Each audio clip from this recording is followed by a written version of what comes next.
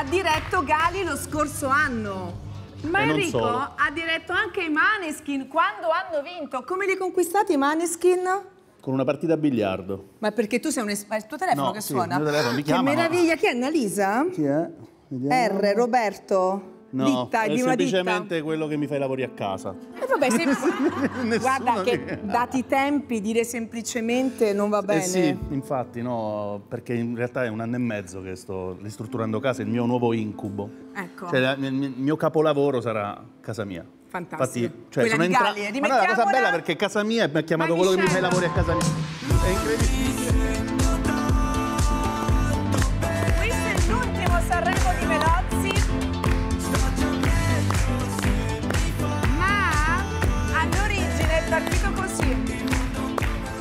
Guardateli Enrico.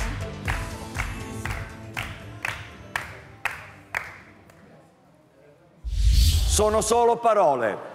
Camera sul direttore. Enrico Melozzi. Il maestro. Il maestro Enrico Melozzi. Sono solo parole, sono solo parole. Rolls Royce. Dirige l'orchestra il maestro Enrico Melozzi. Rolls Royce. Ringo Starr. Dirige l'orchestra il maestro Enrico Melozzi. In un mondo di geometri io sono Ringo Starr. Quando ti manca il fiato. Testo e musica di Gianluca Grignani ed Enrico Melozzi. Dirige l'orchestra proprio il maestro Enrico Melozzi. Proprio quando ti manca il fiato. Supereroi. Dirige l'orchestra il maestro Enrico Melozzi. Supereroi come io e te. Se avrai paura allora stringimi le mani. Casa mia. Dirige l'orchestra il maestro Enrico Melozzi. Non mi serve un'astronave, lo so, è casa mia o casa tua, che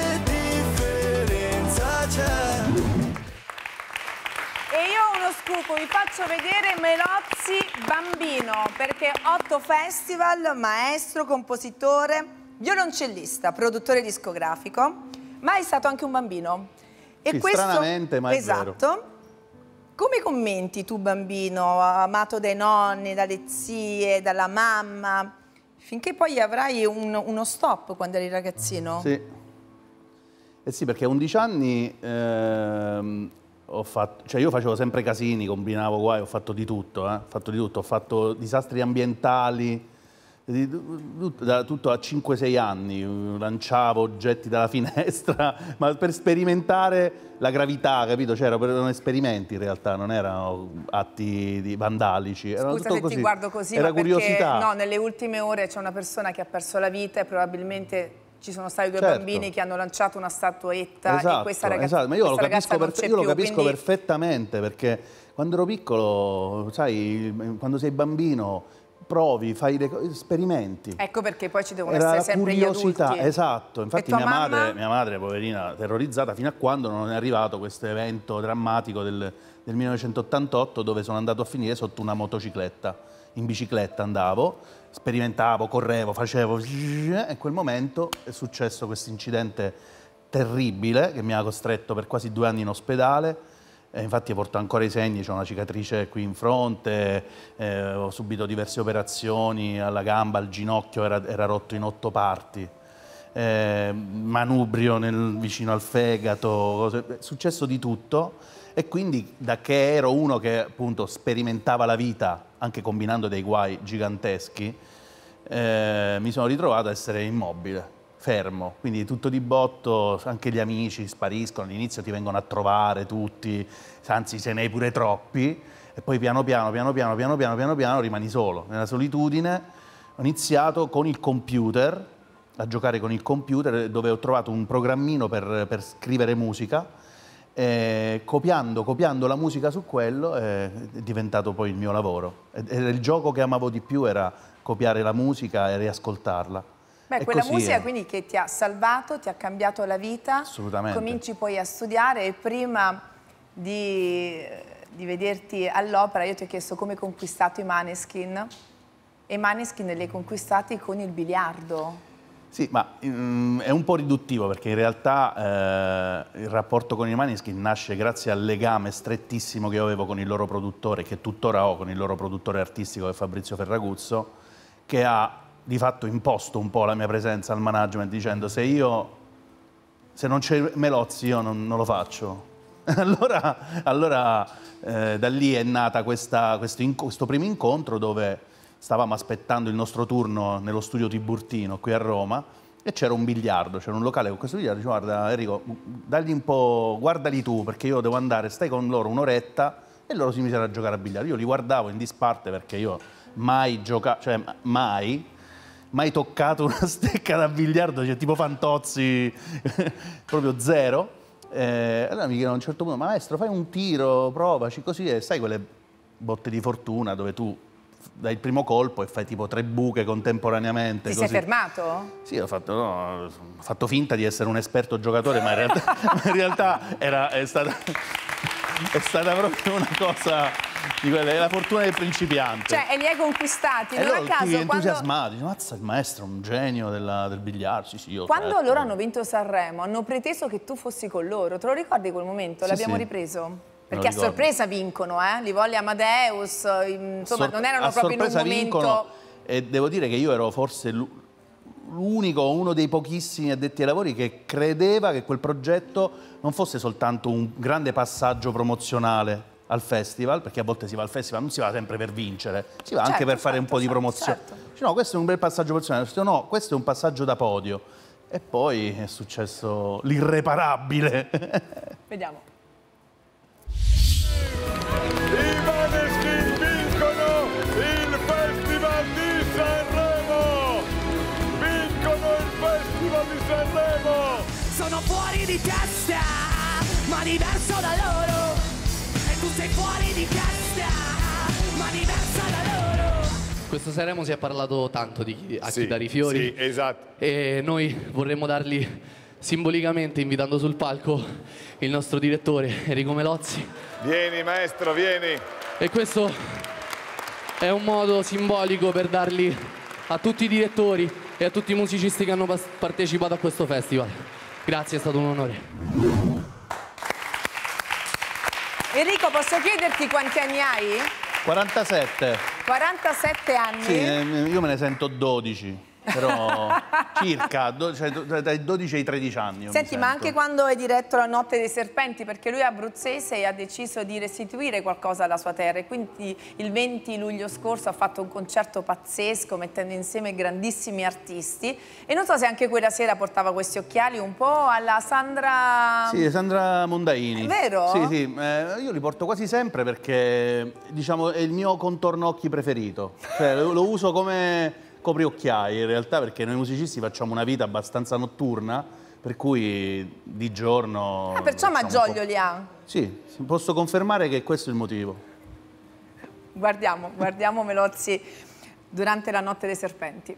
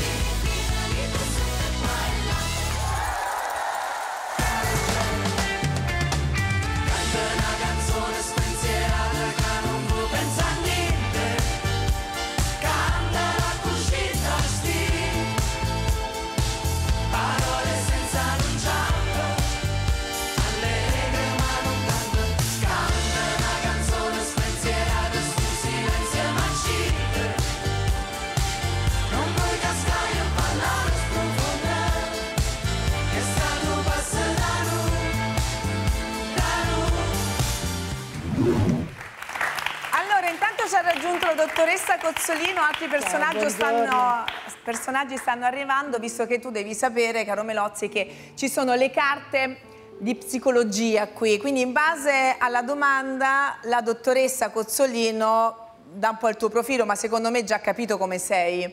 Come Io lo potremmo di sì. definire? Come tutti gli artisti, Guarda la, pausa che ha sensazione- preso, guarda la pausa che ha preso, No. dottoressa.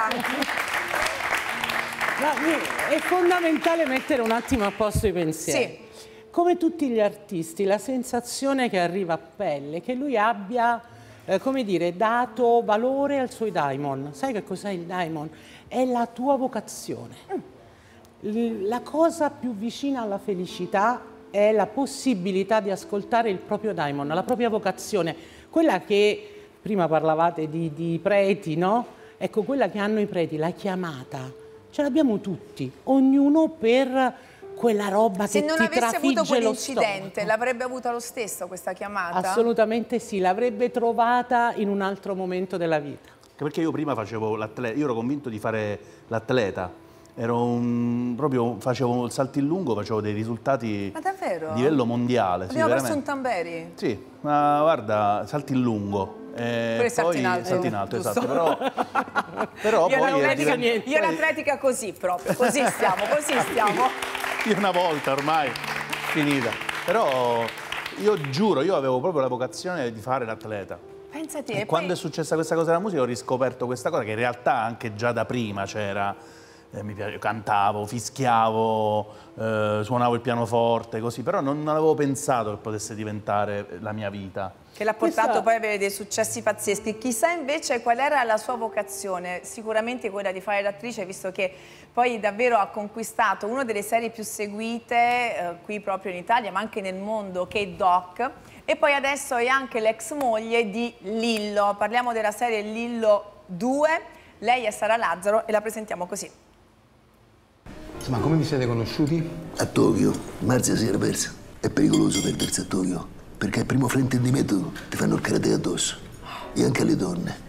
Io penso che il karate addosso alle donne è forse quando la civiltà non è più veramente tale. E quindi ho incontrato questo sguardo meraviglioso e mi sono detto, sono precipitato dentro l'abisso di questi occhi di gatto. Ma voi invece come vi siete conosciuti? Un locale di scambisti. Come? Meno. Lasciami fare. Un bar di scambisti fetish sulla Colombo. No, ho visto questo bar, stavo in macchina, ho voglia di bere una cosa, sono entrato. Scusami, e- tu con chi eri in coppia se Luna l'hai conosciuta No, appunto sto dicendo, no, quello che stavo da solo, Un bar di scambisti? per caso, non ho capito per caso. Poi certo, una volta ormai stavo lì e, Certo. niente, quindi non- per sdrammatizzare Ha anche. sdrammatizzato con me. Alla volta buona, Sara Lazzaro. Fly me to the moon, let me play among the stars. Let me see what springs are like on Jupiter or Mars. In other words, Scusami, oh maestro. Ma abbiamo un caso, perché lei da Luca Argentero, Doc, è passata ad essere la moglie di Lillo, io sono Lillo, e poi in realtà lascia Lillo per Corrado Guzzanti. Allora, cara Sara Lazzaro, questo era Argentero e ce lo ricordiamo. Poi dopo abbiamo un'evoluzione, arriviamo a Lillo per la serie, giusto? Sì. E vediamo ancora Lillo. Vediamo ancora Lillo e poi vai a Corrado Guzzanti. Come stai Sara Lazzaro? No, io sto... Dimmelo. Sempre meglio direi, no? Sempre meglio. Pensate, c'è anche un uomo che ha sofferto, questa è la serie Lillo 2, va dove va? Eh, su Prime Video da oggi, solo su Prime. Io non lo potevo dire. Ah!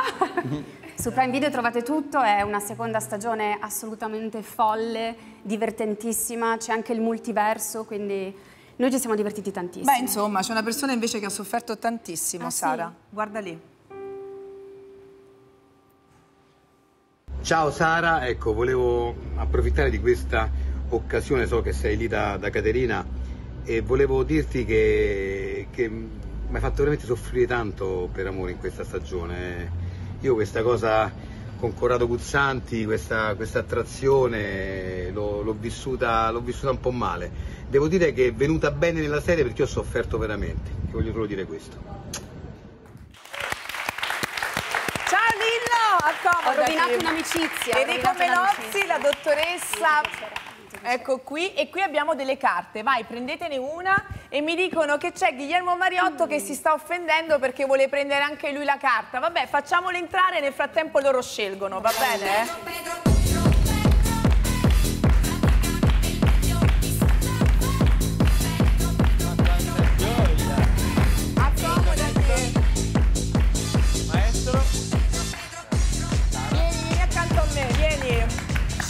Carta. No, ragazzi, però ne serve una, eh. Eh, stavo c- A te hai preso la prima? Cercavo l'11 ma non ne ho trovato. Vuoi l'11? E noi intanto cerco tu Io leggi la 13 intanto, Eh, la me la 13 di. Melozzi. La 13 era la mia. Ma cosa volevi? La 13 volevi? No, vabbè. vabbè. rispondi anche tu a questa domanda, No, no, eh. Chiudo, chiudo gli occhi. Vai Enrico, leggila.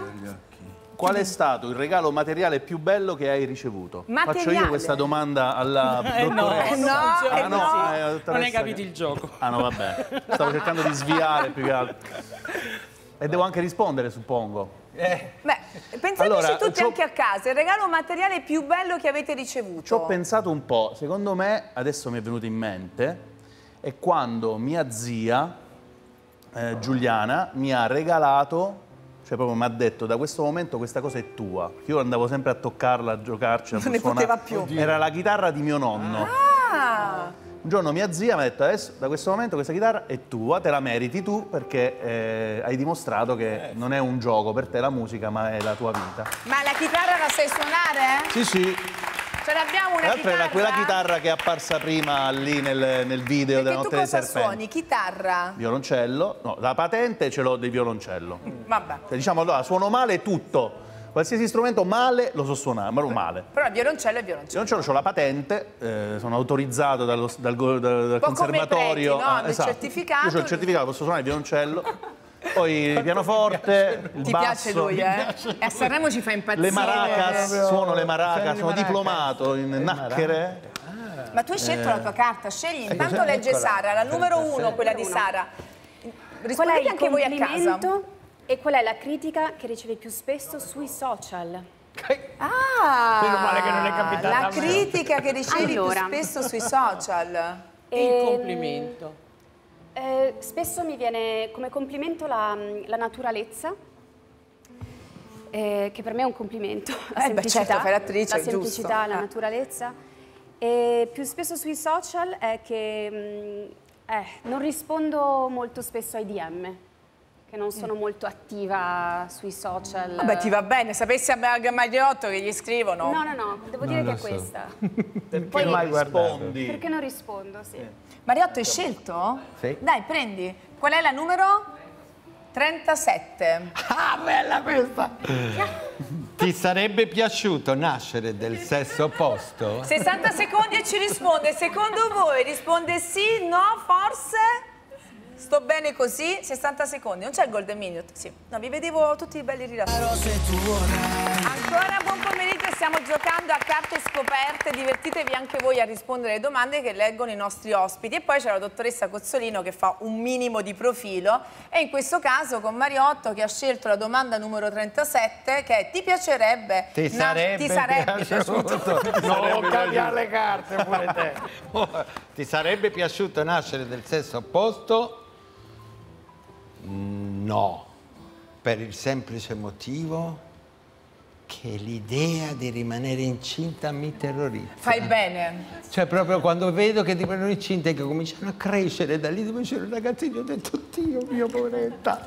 Cioè la cosa Però che... pensa che la cosa più naturale del mondo come... Sono d'accordo, però è un'esperienza, cioè nove mesi di quella roba.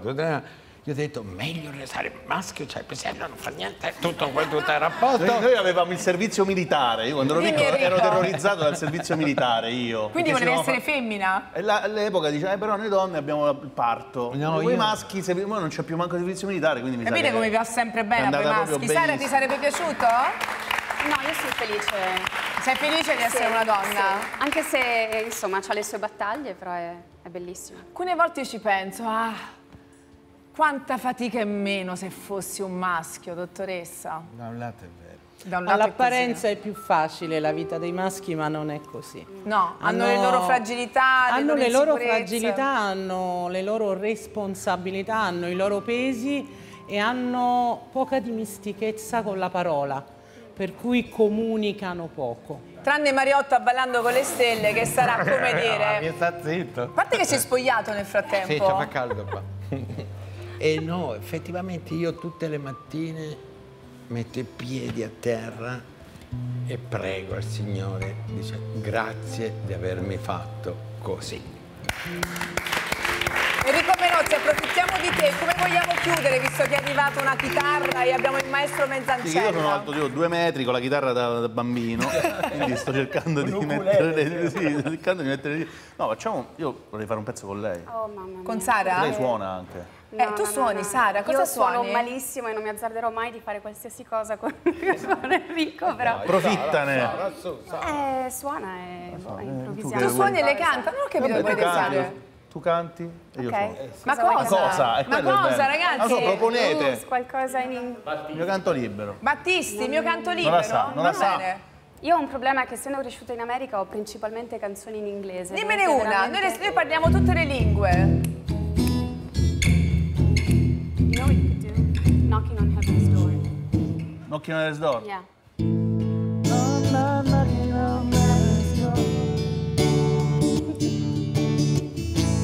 Knock, knock, knocking on heaven's door. Knock, knock, knocking on heaven's door.